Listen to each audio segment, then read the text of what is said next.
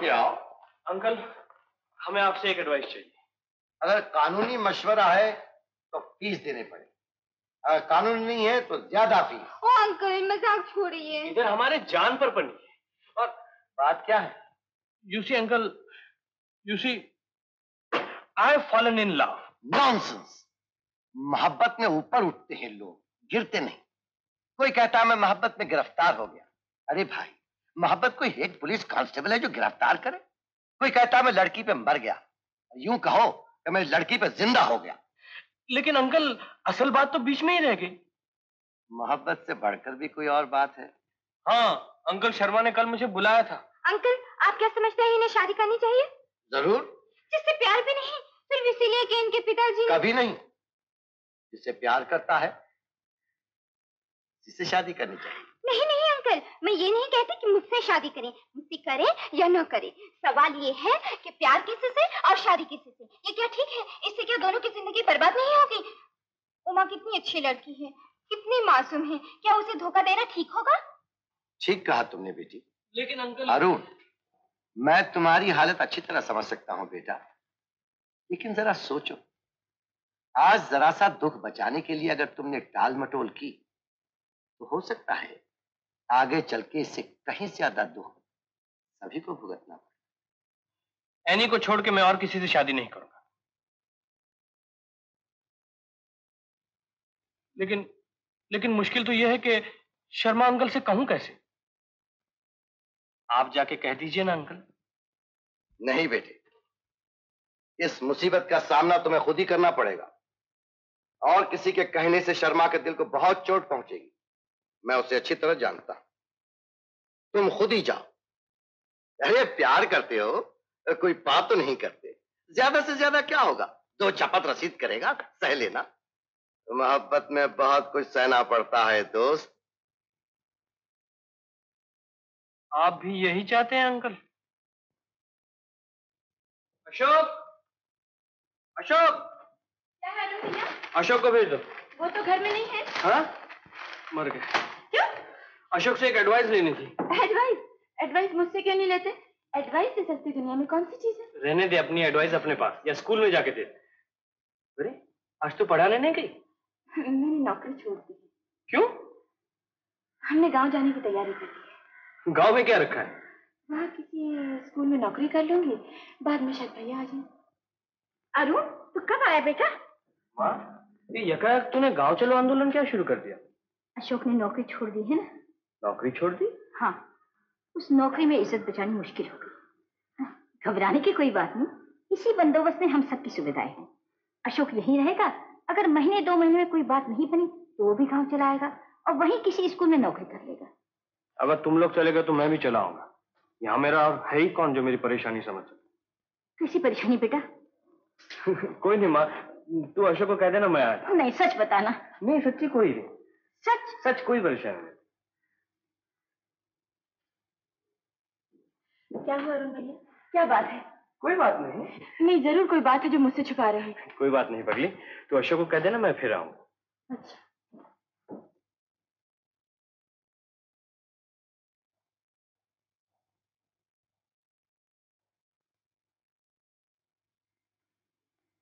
अरे अरुण तुम? तुम कब आए? जी। मैं अभी आया सीधे ऊपर चले आते नीचे क्यों बैठे हुए हो? क्या तुम इसे अपना घर नहीं समझते? बैठ बैठ क्या बात है? जी बात ये कि मैं एक उलझन में पड़ गया। उलझन? कैसे उलझन? जी मैं आपसे कुछ कहना चाहता था लेकिन बात बड़ी नाजुक है। बात क्या है? इतना घबरा क्यों रहे घबरा कहाँ रहा हूँ? आप इस वक्त बिज़ी हैं? बिज़ी तो हूँ मगर तुम्हारे लिए नहीं। कहो क्या बात है? जी जी वो बख्शी साहब है ना? मैं मैं उनकी उनकी? उनकी क्या? जी उनकी नहीं उनके उनके घर पे वो लड़का मिला था ना महाबलेश्वर में वो लड़का अशोक अशोक मेरा दोस्त। हाँ हाँ क्या हुआ सर? उस बेचारे की नौकरी चली गई। अब बेचारे को अपने माँ और बहन को गाँव भेजना पड़ा। मैं सोच रहा था कि बस इतनी सी बात है? जी हाँ। उसे भेज देना मेरे पास मैं सब बंदोबस्त कर दूँगा। थैंक यू अंकल इस वक्त तुम कहाँ जा रहे हो? जी। मालूम नहीं। मालूम नहीं? जी मालूम है। मालूम है। मैं कहीं ड्रॉप कर दूँ? जी नहीं मैं गाड़ी लाया हूँ। गाड़ी लाऊं मैं? जी मैं चलता हूँ। क्या लिख रही है गौरी भैया अरुण भैया अभी भी तुम्हारा इंतज़ार करके गए हैं।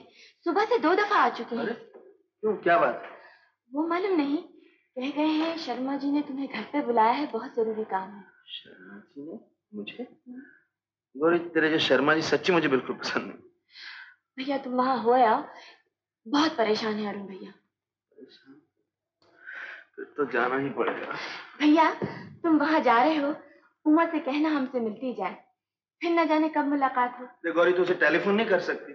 मैं सब बातें करूँ घर में हाँ हाँ। गाँव जाने से पहले माँ का बहुत मन है तुम्हें एक बार देख लें। हम ही आ जाते लेकिन बसों में इतनी भीड़ होती है। तुम्हारे पास तो कार है तुम ही आ जाओ। आओगी ना? ज़रूर सर हिला रही होगी। भला टेलीफोन पर सर हिलाना कैसे देखूँगी? बोलो आओगी ना? आऊँगी। सुनो आज तुम्हारे पिताजी ने भैया को बुलाया है। जानती हो क्यों? फिर सर हिला रही हो। नहीं मालूम। अच्छा तो जल्दी आना मैं बंद करती हूँ हाँ?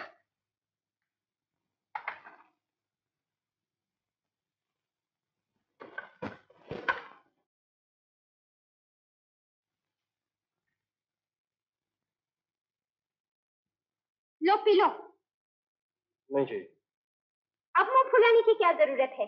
डैडी को तो भेज दिया अंकल शर्मा के यहाँ तुम्हें जो तीर मारना था तुमने मार लिया। ओ एनी फॉर हेवन से कीप क्वाइट जब देखो तक पक पक पक पक पक पक समझ में नहीं आता क्या करो। परेशानी है। तुम भी तो कुछ बोलो ना। क्यों बोलूँ? मैं तो बकबक करती हूँ ना। एनी प्लीज़ समझने की कोशिश करो। मेरी मुसीबत यानी तुम्हारी मुसीबत। लेकिन मुसीबत क्या है सुनो तो। शर्मा अंकल के पास गया था अपनी बातें करने के लिए। हम्म। और कराया बात अशोक की नौकरी की। हम्म। उन्होंने कहा भेज and like an idiot that you have made me मैंने गौरी से कहा हम्म। कि शर्मा अंकल ने अशोक को बुलाया है। तो ठीक ही किया। क्या खास ठीक किया? हम्म। तुम अशोक को नहीं जानती। बड़ा टेढ़े किस्म का आदमी है। तो फिर जाकर मना कर दो। दो बार गया था। गधा मिला ही नहीं अब कहीं पहुँच गया वो अंकल शर्मा के पास। हम्म। तो हो गई छुट्टी।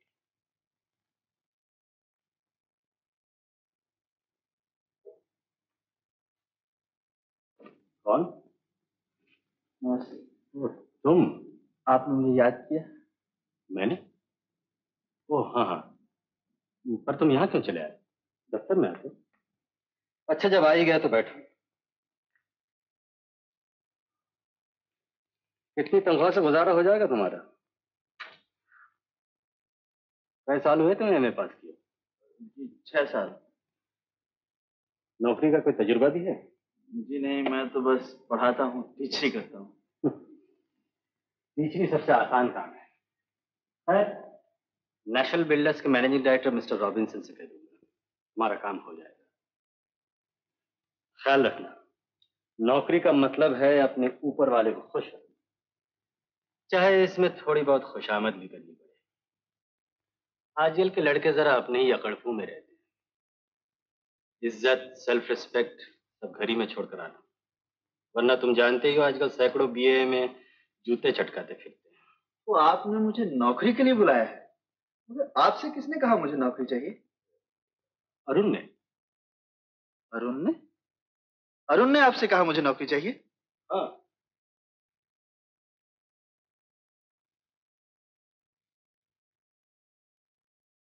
क्या तुम बेकार नहीं हो? ऐसे तो इस दुनिया में बहुत से लोग बेकार घूमते हैं। क्या आप उन सबको बुलाकर नौकरी देंगे? सब थोड़ा ही आ सकते मेरे यहाँ। ये तो तुम तरस खा रहे हैं मुझ पर। आप ऐसा क्यों सोचते हैं? जो भी आपके पास आता है आपके रहम के लिए आता है। सोचना पड़ता है। जब सुनते हैं नौकरी न मिलने से किसी ने खुदकुशी कर ली किराया ना दे सकने से किसी को घर से निकाल दिया गया या उसे अपनी माँ और बहन को वापस गाँव भेज देना पड़ा। तब आपको उन पर तरस आ जाता है। हम गरीब ज़रूर हैं शर्मा जी। हमारी जरूरियात भी बेशुमार है। मगर आप ये नहीं जानते कि प्यार मोहब्बत कुर्बानी हमारी उन सब कमियों को दूर कर देती हमारे पास पैसा नहीं बाकी सब कुछ है। तुम कहना क्या चाहते हो? यही कि आप गरीबों के पास सिर्फ़ पैसा है और कुछ नहीं। अब आप अपनी तरफ़ देखिए अपनी बेटी की तरफ़ देखिए और खुद ही फैसला कीजिए कि आपको किसी दूसरे पर रहम खाना चाहिए या अपने आप पर। मैंने आपको इसलिए नहीं बुलवाया कि आप मेरे ही घर आकर मुझे ही अकल की बातें बताएँ। माफ़ कीजिए शर्मा जी। मैंने आपके जज्बात को ठेस पहुंचाई। रही मेरे जज्बात की बात घर जाने दीजिए। और हाँ एक रोज मेरे गरीब खाने पर ज़रूर तशरीफ़ लाइए। और देखिए कि मुझे आपकी ज़रूरत है या आपको मेरी। नमस्ते।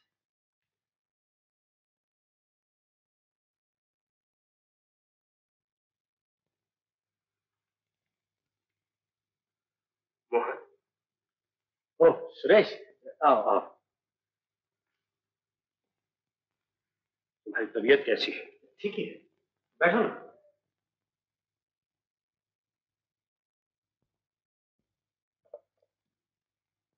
क्या बात है? मैं तुमसे एक बहुत नाजुक सिलसिले में बात करने आया हूँ। समझ नहीं आता कैसे करूँ। कहो ना। बात यह है हरी चाहते थे कि अरुण की शादी तुम्हारी बेटी से हो। लेकिन अरुण एनी से शादी करना चाहता है। बल्कि उसने तो प्रपोज भी कर दिया है। ओह, तो ठीक है। जब वो एनी से शादी करना चाहता है तो कौन रोक सकता है उसे? लेकिन उमा उमा पर रहम खाने की ज़रूरत नहीं सुरेश। मैंने तो अपना वादा निभाने की कोशिश की थी। वरना मेरी बेटी को लड़कों की क्या करनी? अभी थोड़े दिन हुए सर सीताराम ने अपने बेटे के लिए उसका हाथ मांगा चलो। एक बहुत बड़ा बोझ उतर गया मेरे दिमाग से। और मेरे दिमाग से उल्टा मैं तुम्हारा शुक्रगुजार क्योंकि अरुण तो कोई खास ठीक है तुम खुशी से रिश्ता पक्का करो। Congratulation thank you